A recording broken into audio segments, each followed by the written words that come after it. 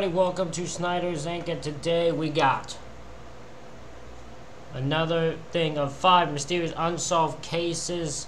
Part 9, we're gonna get right into it. Ladies and gentlemen, the like button, subscribe button, comment thing down below. Let's go.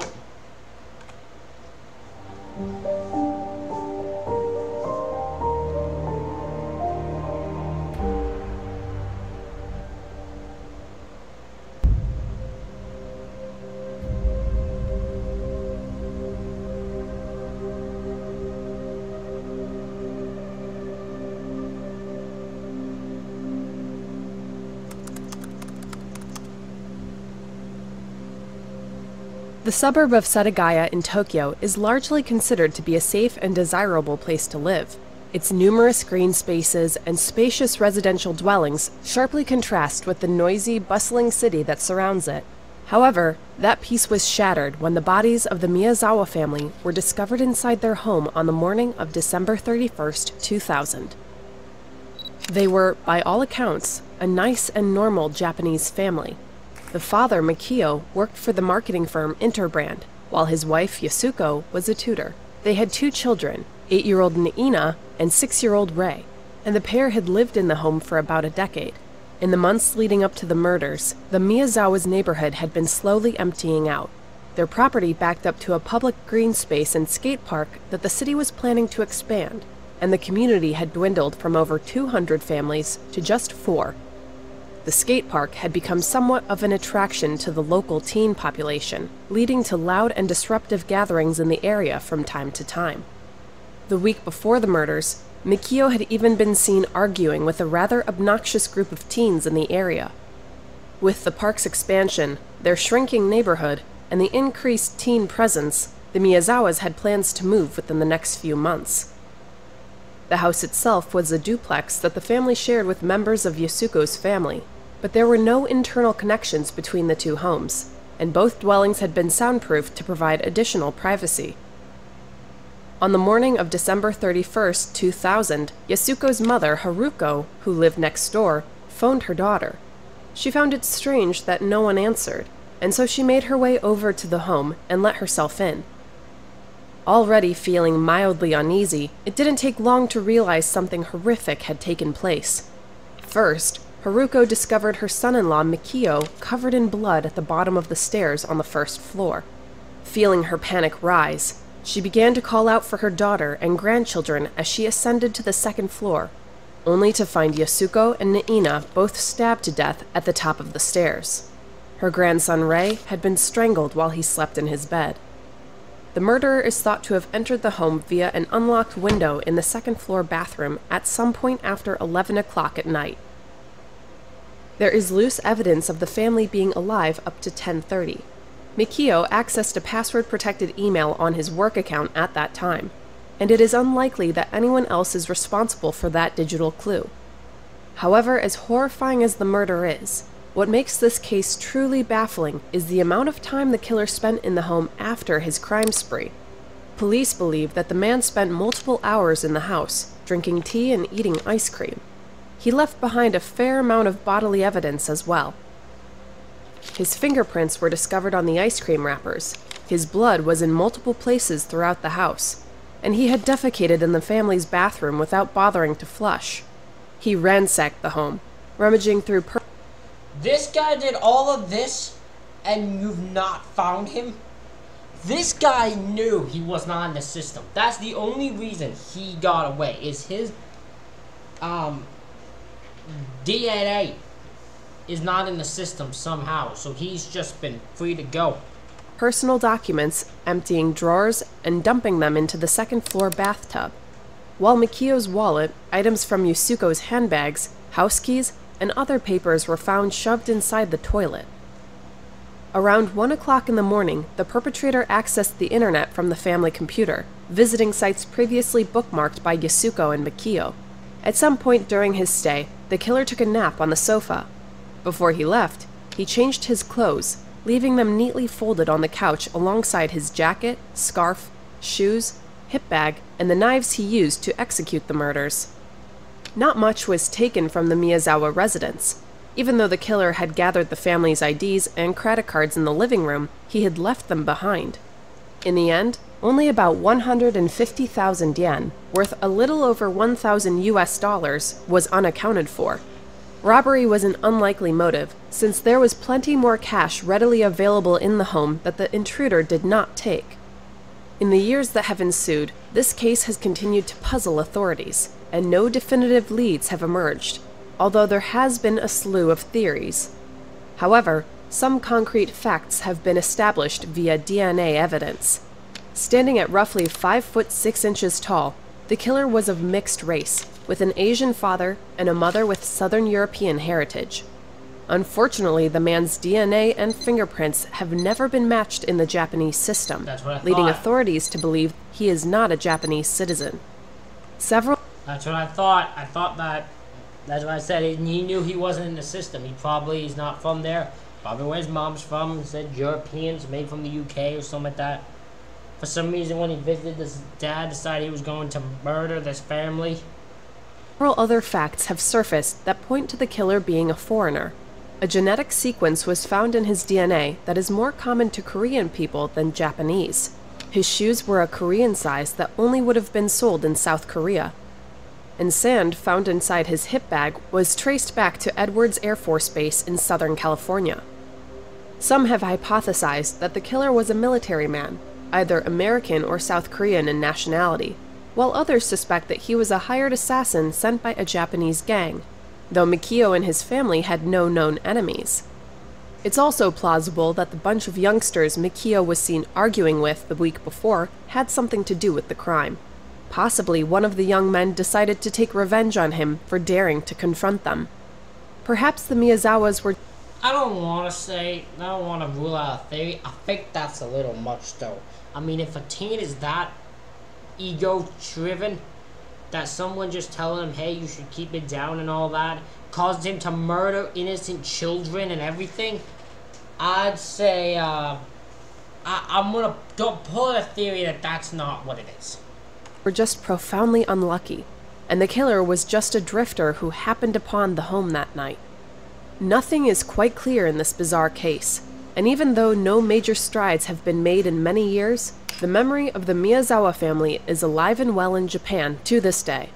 The police have adamantly said they will never give up until the case is solved. An investigator on the case, Yasunori Hirose, was quoted saying, With advances in science and technology, I believe that police will locate the criminal and eventually arrest him. In 2020, Mikio's mother, now 89 years old, says that she desperately wants the case to be solved in her lifetime. Despite the thousands of hours of investigation, this violent killer has never been identified, and the murders of the Miyazawa family is as much a mystery now as it was over 20 years ago.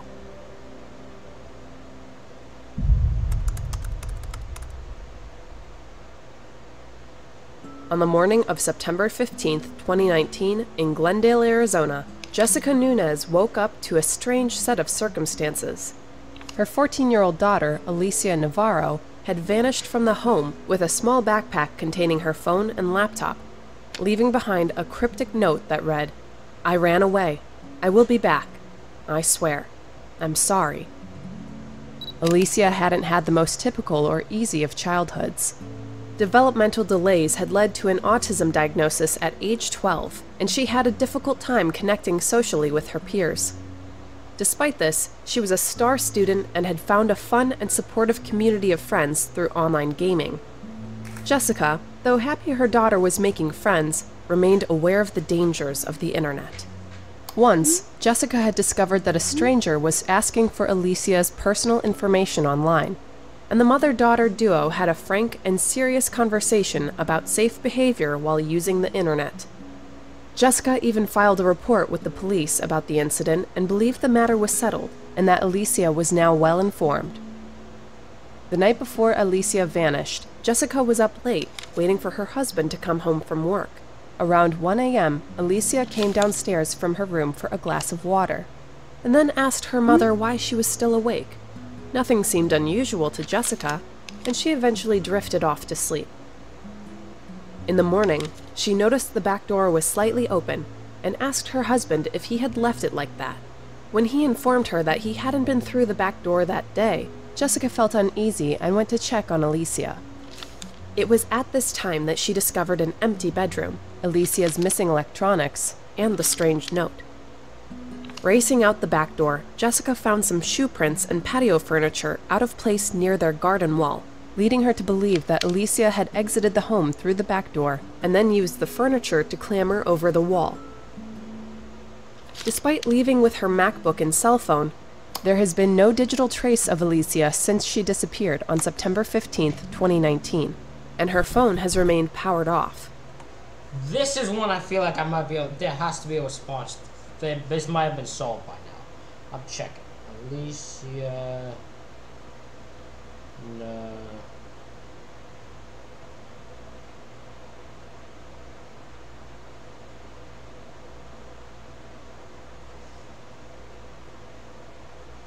Oh, she was just found.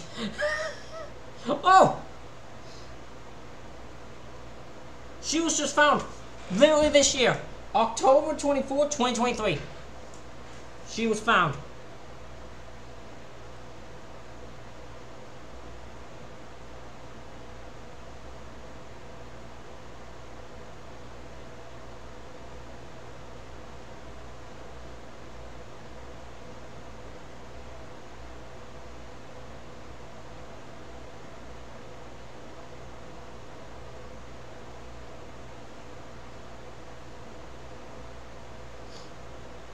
Jesus. But yeah, she's safe now. Additionally, she looked. I heard when I was hearing about a case, I'm like, this looks like one that'll be solved. Hundreds of tips and a few tenuous sightings have all gone nowhere. Alicia is still missing. Jessica believes that she met someone online who lured her out of the home. Alicia was not outgoing or quick to trust people, describing herself once as introverted, nerdy, and shy. For these reasons, whoever befriended Alicia likely took their time to gain her trust before making their final move. Although Alicia could have been simply snatched up by a stranger when she left home, she had no reason to run away in the first place. It is more likely that Alicia left under the pretense of meeting an internet friend who ended up being a foe. By the note she left, it's. Technically, no. She met a dude was 30 something years old. And she ended up being together for four years and then she just reappeared. Walked right into a police station. Very weird. It seemed that she intended to return home. So Jessica believes that something or someone is preventing her from coming back or even contacting any family and friends. Despite her heartache and the gut wrenching torment of not knowing the whereabouts of her child, Jessica has remained resolute in her search. She also has a message for parents that she shared with News Nation in October of 2021.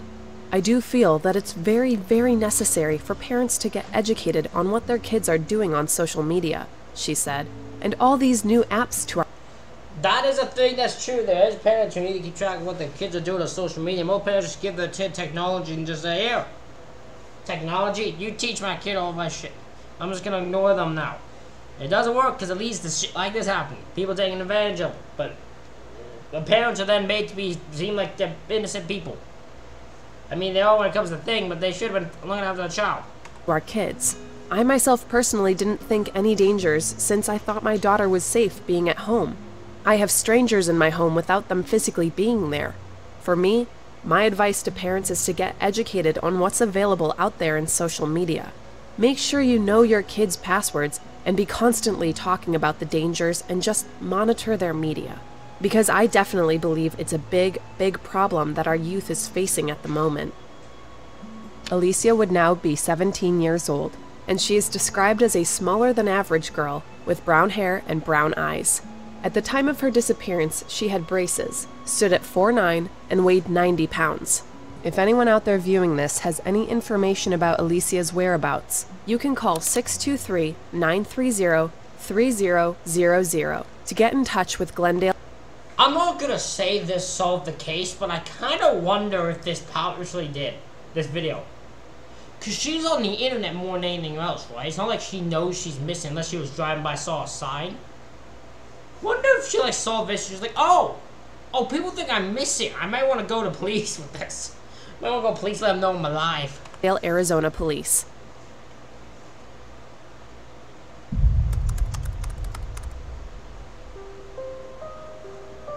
Known as a rising star in Washington, D.C. legal circles and a prominent member of the D.C. Asian American community, 32 year old lawyer Robert Wone's murder shook the city. Naturally, being a large metro area, D.C. sees quite a bit of murder, but not in the posh Dupont Circle neighborhood where Robert was killed. Robert lived outside the city in Oakton, Virginia with his wife Kathy, and regularly commuted into D.C first for his job with the Covington and Burling law firm, and more recently for his new position as the general counsel for Radio Free Asia.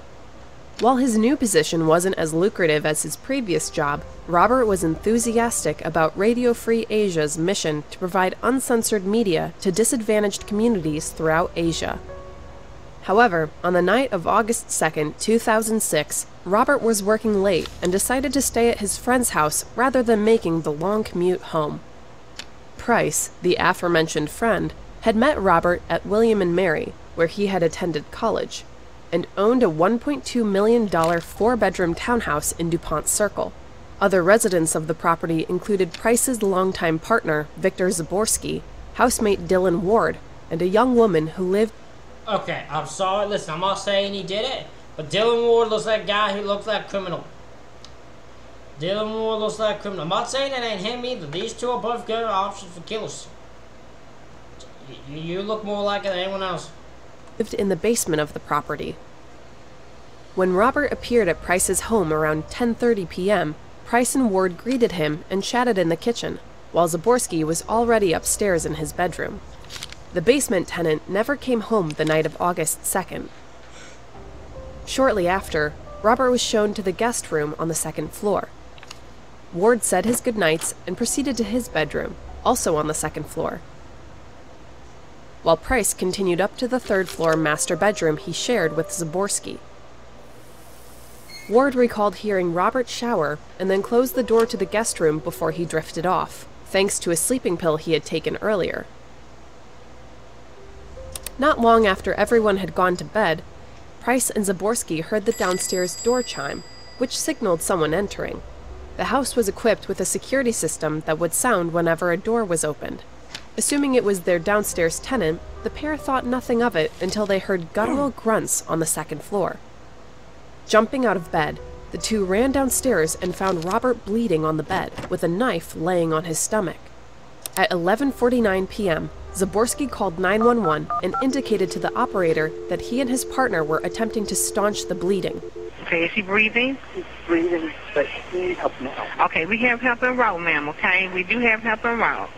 Okay, just go down there and try to tell your husband or your other um the other half to just try to keep him calm and talk to him, okay?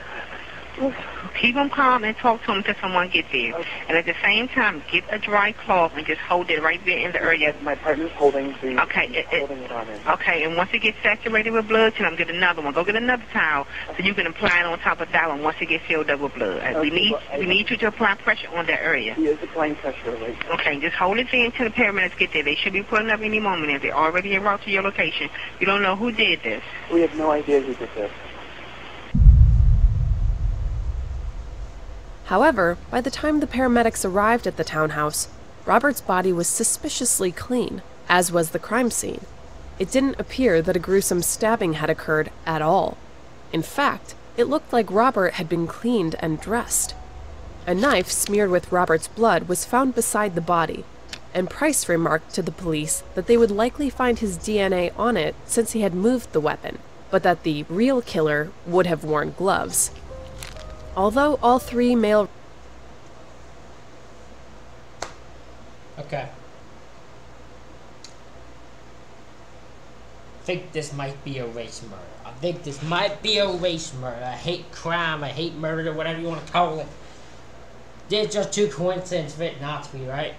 residents of the townhouse agreed that the killer likely entered through the back door, the story wasn't quite making sense to investigators. There was no sign of forced entry, and Ward's room was before the guest room in the hall.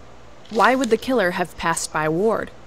That would have meant that Robert was specifically targeted, as the only people who knew where he was were the residents of the house and his wife. He and his wife had a loving relationship, and there were no known enemies that would make such a targeted kill plausible. During the autopsy, three stab wounds were found, as well as several needle marks and evidence that indicated Robert had been sexually assaulted and smothered before his death. Police ultimately hypothesized that Robert was drugged with a paralytic agent before being assaulted and murdered. Unfortunately, a routine drug panel yielded no evidence. Nothing was quite adding up, but there were no concrete facts to pin the crimes on Price, Ward, and Zaborsky. Eventually, the trio was charged with obstruction of justice in November of 2008. Robert's wife Kathy filed a civil lawsuit against them several days later for $20 million. Despite the suspicious circumstances, in 2010 the men were cleared of all charges. The judge said that she believed the men knew more than they were saying, but that she couldn't believe beyond a reasonable doubt that they were guilty of obstruction of justice. Kathy settled her civil suit in 2011 for an undisclosed amount. Sadly, no progress has been made in this bizarre case. A theory pointing to Price's troubled brother Michael has been entertained, but he eventually produced an airtight alibi. Although we may never learn what happened to Robert Wone, it seems to many that Price, Ward, and Zaborsky know something and appear committed to keeping their secret. When asked about her choice to settle by the Washington Post, Kathy Robert noted, I am moving on. I want to spend the next 40 years of my life focusing on good. They can rot from the inside out from all the secrets they chose to keep. That's their choice. I choose to move on. Investigators say the case will remain open, in the hope that they might one day get the additional evidence they need to charge someone. But as of the time of this recording, Robert Eric Wone's murder remains unsolved.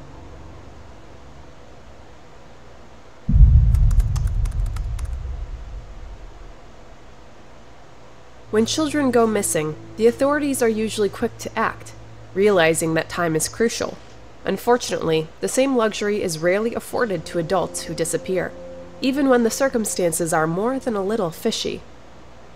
In 2017, Elaine Park was a 20 year old aspiring musician and actress who had landed some bit parts in movies and TV shows like Crazy Stupid Love and Desperate Housewives. Growing up in La Crescenta, a suburb of Los Angeles, she had been a cheerleader in high school, and she was described as spunky and likable. Although she had initially pursued higher education at Pierce College in Los Angeles, by January of 2017, she had dropped out, intent on following her acting career. On the night of January 27, 2017, Elaine had gone to a movie with her boyfriend, Divine, or Div Compani, the son of a well known Los Angeles businessman. The pair had been on again, off again for some time, but had recently reconnected. After the show, security footage showed the pair returning to Div's apartment in Calabasas around 1 a.m., roughly 30 miles west of Elaine's home in La Crescenta. According to Div, the two went to sleep until Elaine woke him around 4 a.m., shaking, singing, and acting oddly.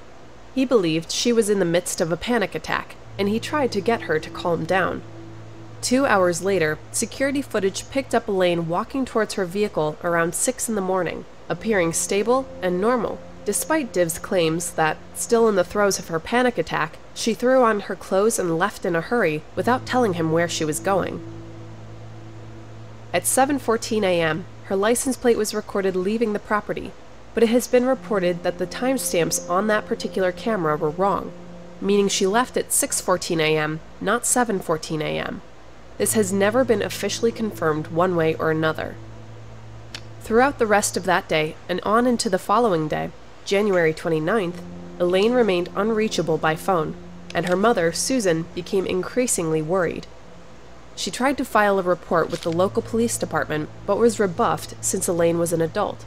Authorities believed at the time that she had simply run off for a bit, despite Susan's protestations that this was extremely out of character for her daughter.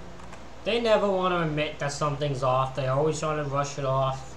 It's always gonna be a thing with missing people. It'll never change, no matter who thing, unless you're a child. Any other time, unless it's a child, if you're even over the age of 10, it'll take them a while before they even just give a damn most of the time. An official report was not filed until Monday, January 30th, after two full days had passed. Yep. Police initially questioned Div, but This is another thing I always find weird. They always say in a disappearance and in a mystery, the first 48 hours are crucial. When someone disappears, gets abducted, whatever. But then always have to make you make them wait the first 48 hours, always the time before you allowed to file a missing person report. It makes no sense. I never understand this. since he remained cooperative and was eventually ruled out as a suspect, his apartment and the surrounding areas were never searched. On February 2nd, Elaine's gray Honda Civic was found just off the Pacific Coast Highway in Malibu. All her doors were unlocked, and her personal belongings were still inside the car, including the keys in the ignition. Although the car was dead, the keys were turned to the on position, meaning that the battery had been left to drain. There was no sign of a struggle or foul play, leading investigators to surmise that Elaine had left the car willingly, though it was a strange place for her to have wound up. The car was found 20 miles to the west from her last known location at Div's apartment in Calabasas, and was even further west from her home in La Crescenta. What was she doing on a stretch of highway by the ocean so early in the morning? Clearly, she wasn't on her way home. Dogs were brought in to find her scent, and the search expanded around the surrounding rocky landscape with ATVs, divers, and drones. No trace of Elaine was found. The prevailing theory became suicide, with police believing she simply took her own life. Although Elaine was known to have bouts of depression, her family and friends strongly disagree with this conclusion, suspecting that foul play is the more likely scenario. Police have never ruled out that something sinister may have befallen Elaine, but they continually told her mother it was more likely that she had either committed suicide or run away on her own. Her mother has hired a private investigator to look into the matter, but nothing conclusive has been determined despite multiple cash rewards being offered over the years. Everything about Elaine Park's disappearance is clouded with suspicion, from the muddy timeline of the morning of January 27th to her boyfriend's account and the police's refusal to explore his role further, to the pristine state of her car when it was discovered. Aside from suicide, other theories have been floated over the years. Could she have been abducted by a stranger? It seems unlikely, or at least implausible, that there are no witnesses, since the Pacific Coast Highway is a well traveled road, and it would have been sunny by the time she reached Malibu. Others think the boyfriend Div is more involved since there is unaccounted for time, and we don't know for sure if Elaine was behind the wheel of her Honda when it was recorded leaving his apartment. At this juncture, though, everything is pure speculation. Elaine is a Korean American woman, standing at 5'6 with brown hair and brown eyes. She liked to wear heavy makeup and has three distinctive tattoos a cow skull and a moth on her left arm, a dagger on her right arm, and a rose on her left shoulder. If you have any information about Elaine Park, you can call the tip line at 1 800 551 3080 or the Glendale Police Department at 818 548 4911.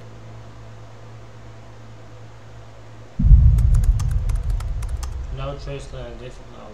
Okay. For our final case, we're leaving the United States and heading over to Poland to discuss one of their most baffling unsolved cases the disappearance of Ivana Wieczorek. Out for a night of fun with her best friend Adria and three male acquaintances, 19 year old Ivana Wieczorek abruptly vanished in the early morning hours of July 17, 2010. Having just graduated from high school, Ivana was currently residing in Gdansk, Poland, and was excitedly planning an upcoming trip to Spain. Though Ivana was still reeling from a fresh breakup with her boyfriend Patrick, her friend Adria managed to get her out of the house for a night on the town with three men the pair had known for about a month. One of them, Pavel, was supposed to be a date for Ivana that night, but the two ultimately decided there wasn't much of an attraction there and continued the night platonically. The night started with casual drinks before progressing to a club in Sopot, about 18 minutes north of Gdansk. Although Ivana started in high spirits, as the night progressed, her mood soured when she learned that her ex, Patrick, was apparently out on the town with other girls. She left the club and began her nearly four mile journey home on foot around 4 a.m., walking down Seaside Boulevard.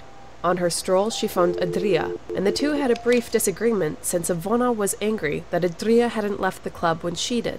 The dispute was diffused over the phone, and the pair chatted again a few minutes later when Ivona called Adria to tell her that her phone battery was dying. By now, Adria had left the club and was headed home herself. Ivona disclosed her location on Seaside Boulevard to her friend and asked if she could come to Adria's house. She didn't want to go home, since she was a little drunk and was hesitant to greet her mother in her current state. Adria, understanding of the situation, left her keys under the mat for Ivona before heading off to bed. As the new day dawned, Adria awoke to find no Ivona in her apartment and her untouched keys still under the mat. She assumed Ivona had headed home instead, while Ivona's family assumed she was with Adria. Her disappearance wouldn't be noticed until late in the afternoon. Once alarms were raised, authorities began to search the area Ivona was last known to be in, but no trace was recovered. The last known image of Ivana was captured on CCTV during her walk home on Seaside Boulevard around 4 o'clock in the morning. She appears tired, holding her heels in her hands, and wearing her clothes from the club. There is a man visible behind her in the footage, wearing a plaid shirt, but he has never been identified by the police, and no witness has ever come forward claiming to be him. Unfortunately, despite the publicity the case received in Poland, not much progress has been made. In 2017, CCTV footage discovered that a maintenance team in the area of Ivona was last seen took an unscheduled detour in their truck. The vehicle deviated from its normal route and spent an unknown amount of time in an area with entrances to storm drains. It is hypothesized that Ivona was attacked by one of the men on the team, and they disposed of her body in the storm drains before continuing. Not much more has been heard of the theory, and it seems to be idle speculation for now. In May of 2021, a bag containing a pair of tights and two knives was recovered in the area where Ivona was last seen. But it is not yet clear if those items are in any way related to the case. People also cast their suspicions on the men Ivona was with that night and her ex boyfriend Patrick. Patrick, especially, seems to keep changing his story about where he was and what he was doing when Ivona vanished, but he has never been formally charged with anything relating to her disappearance. What seems most likely as of now is that Ivona proceeded off Seaside Boulevard into the area where she lived and was either abducted or attacked by someone at that point. Whether her assailant was known to her or not remains to be seen. The man seen behind her in the CCTV footage, though it seems he's the only feasible suspect at the moment, continues to elude police and the public. At the time of her disappearance, Ivona was 5'4 and 140 pounds. She has blonde hair and brown eyes and would now be roughly 30 years old. She may have been taken outside of Poland or even outside of Europe. It's hard to say for sure, but it looks like Ivona's case remains open, though it now appears to be in the hands of a cold case investigation unit.